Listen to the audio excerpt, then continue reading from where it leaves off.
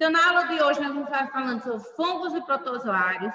Nós vamos estar vendo aí algumas cositas que são que estão aí no nosso dia a dia e que, infelizmente, às vezes passa por despercebido por não sabermos o que é aquilo ali. Então, eu quero que vocês venham aqui comigo agora, porque nós vamos estar falando sobre os fungos. Vamos começar falando aqui dos fungos, tá, gente? Vamos falar de fungos e protozoários, mas agora, nesse exato momento, nós vamos estar falando, que é isso, menino? Que é isso? Foi com choque? Foi, foi? Então, os fungos, gente, é um grupo de organismos eucariotas, que vai estar incluindo aí micro-organismos como leveduras, boloros, bolores, tá, gente? Bem como os mais familiares, que é o cogumelo. Calma, não se preocupe. Existem aqueles cogumelos que são bons para se alimentar e aqueles que não são bons para se alimentar. Então, nada de ver um cogumelo por aí querer estar comendo ele, não, tá, gente? Então, cuidado. Eles são classificados no reino separado das plantas, dos animais e das bactérias. E eles produzem grandes quantidades de enzimas digestivas, que vai ser aí o papel de decompositores, que mais à frente a gente vai estar estudando aí sobre esses decompositores, o que são, como são, o que é que eles fazem. E as características deles, gente, as características aí dos fungos. São seres uni ou pluricelulares, não têm tecidos verdadeiros, tá? As suas células são chamadas de hifas, sendo que um emaranhado, esse emaranhado todinho aqui de hifas, vai, vai receber o nome de micélio. Então, aqui nós temos uma estrutura reprodutora, nós temos aqui um emaranhado de hifas e que vai ser chamado de micélio. Isso aqui é uma estrutura de produtores de esporos. E a importância, por que é tão importante aí os fungos? Alguns fungos, eles servem aí para fabricação de remédios, fabricação de queixos, em alguns casos é para que o, papai ou a mamãe que gostam aí de cervejas. Então, aí, gente, bebidas. Então, eles têm o seu lado bom e tem o lado ruim aí da coisa. O lado bom é que eles podem estar aí com ele, por conta desses fungos, a gente pode estar fazendo aí alguns queijos, fabricando alguns queijos. E vai ser importante também na produção de antibióticos, de vitaminas, de hormônios, mas isso só quem vai saber, nesse caso aqui, vão ser os farmacêuticos. Não é todo mundo que tem aí esse acesso para estar tá fazendo a medicação. E a importância para o ser humano? Muitos cogumelos nós sabemos que são, são comestíveis, né? Então, alguns aí são importantes para a gente aí, desses fungos, começando pelos cogumelos. Então, a importância para o ser humano, para o ser humano, desculpa, gente. Os fungos, eles são importantes de diversas maneiras. Tanto existem aqueles que nos fazem mal, mas existem aqueles que nos fazem bem. Tudo vem aí, para o mal e para o bem. Vale, vai aí você escolher qual que você quer. É, alguns são comestíveis, como champignon e o shimeji, Outros fungos podem ser usados na produção de alimentos, como pães, bebidas, queijos. Então, nada aí é ruim. Nada, nada é ruim. Tem o lado bom e o lado ruim. Eles servem para produzir remédio, eles fertilizam o solo, ajudam a planta a tá é, é, absorvendo melhor os nutrientes. Então, eu já falei, existem os fungos que são bons e existem aí os que são ruins. Então, os que são ruins são descartados e os que são bons nós tiramos para o nosso proveito. Lógico. E os fungos da ingestão indireta são aqui os bolores, onde a gente vai estar na produção de queijos embolorados. Existem queijos aí que são caríssimos, gente. Mas, gente, mas que eles são feitos a partir aí dos fungos da ingestão indireta.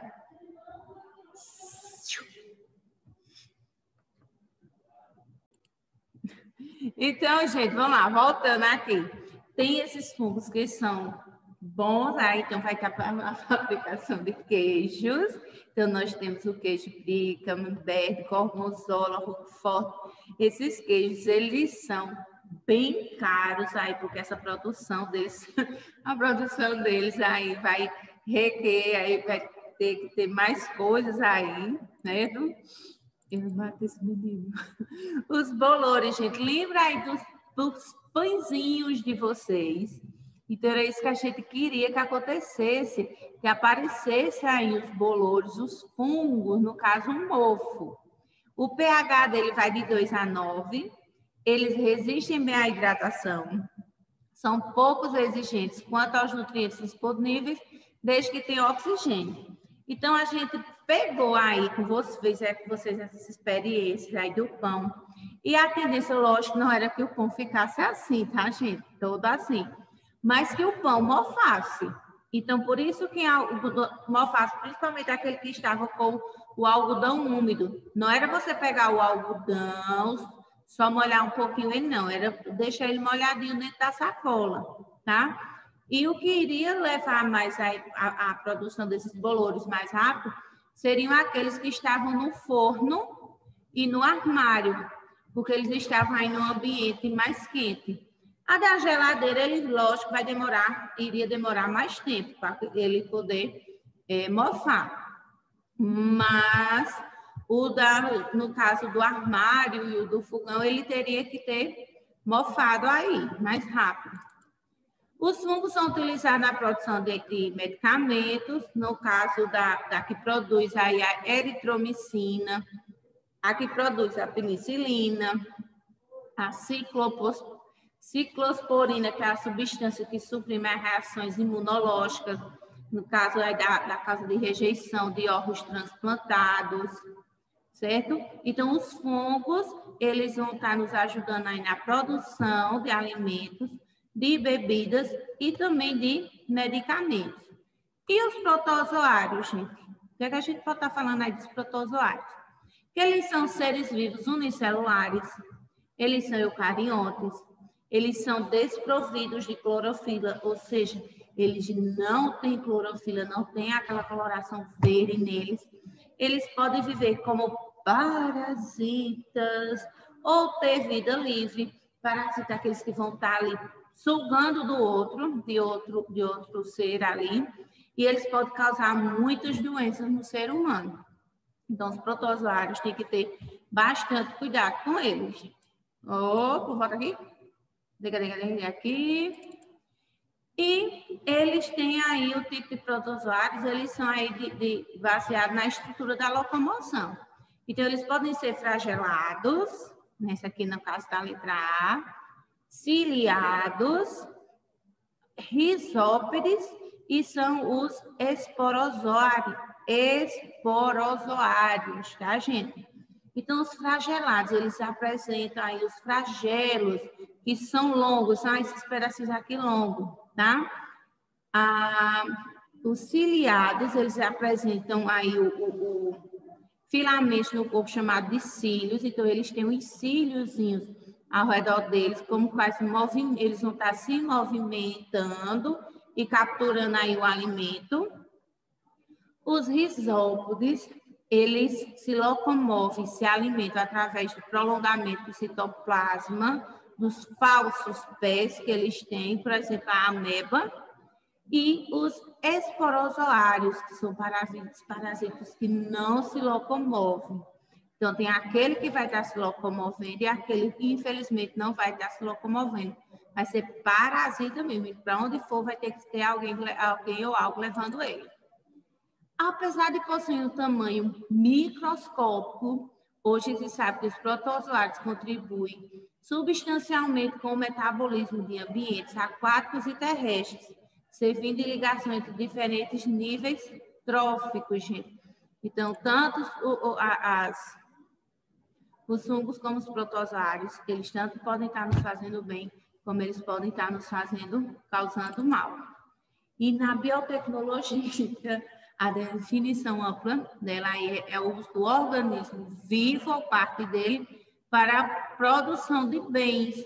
Por outro lado, moderna se considera aquela que não faz a informação genética.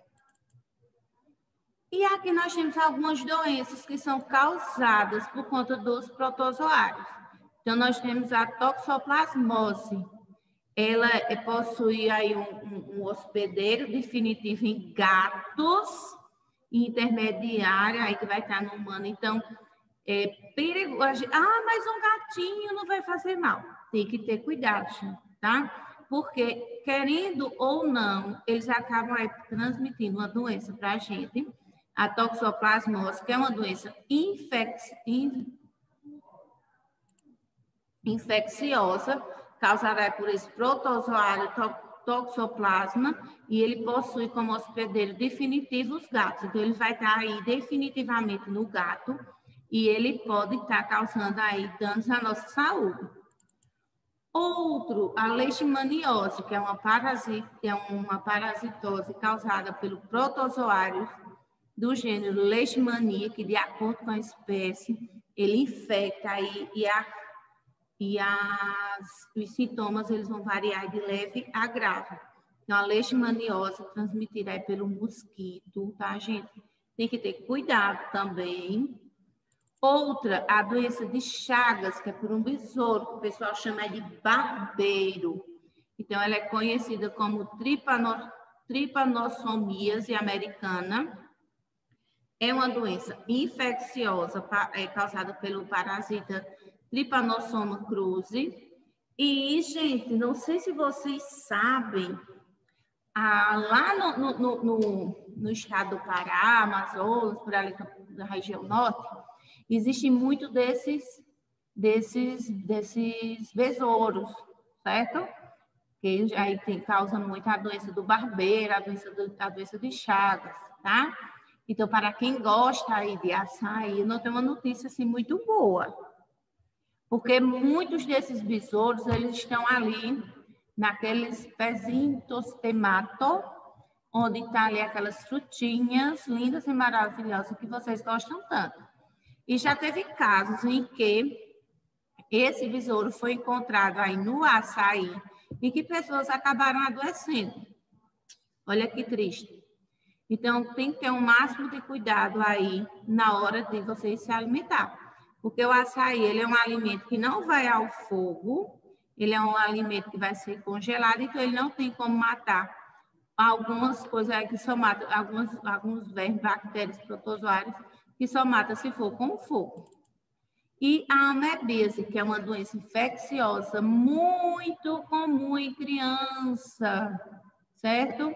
E ela é transmitida principalmente na ingestão de cistos presentes na água, nos alimentos contaminados com cocô, gente, com as fezes. Então, se você está em um sítio, um local onde você não sabe qual a procedência da água, se você vê que ali perto do, do de onde você está pegando a água, ela passa ali alguma, alguma coisa que vai estar tá contaminando ela, alguém fez cocô ali perto, então, tem que ter cuidado, tem que ferver essa água.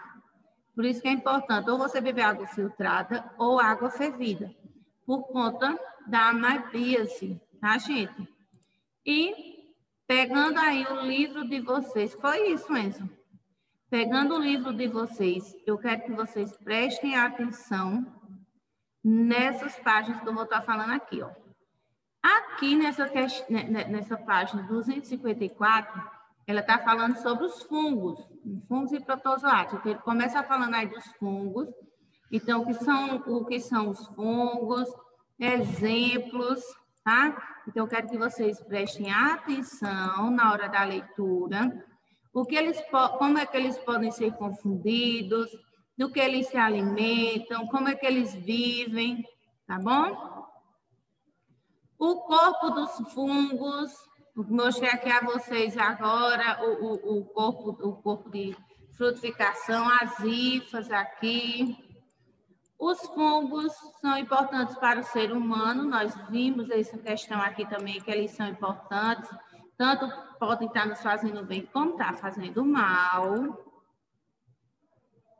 E aqui está falando sobre o maior ser vivo do mundo, nessa página 256, tá? Então, vocês estarão comigo aqui fazendo essas questões. Então, nós temos também falando aqui sobre os protozoários, tá bom, gente?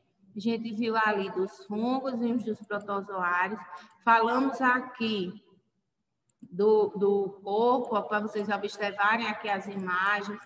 Nós falamos aqui do, do, do movimento dele, da locomoção.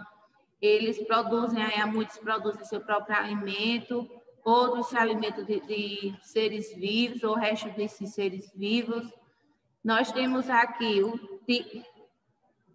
o tipo deles aqui que a gente falou, como nós temos da ameba, da tripronossomo, tá? Então, aqui nós temos alguns exemplos de como são os protozoários, tá? E em relação a, aos benefícios e malefícios entre protozoários e outros seres vivos. Então, o que, é que a gente vai estar fazendo agora? A gente vai estar fazendo nossa atividade, pega aí o livro e abre a partir da página 254. Vamos lá? Pegando aí o seu livro.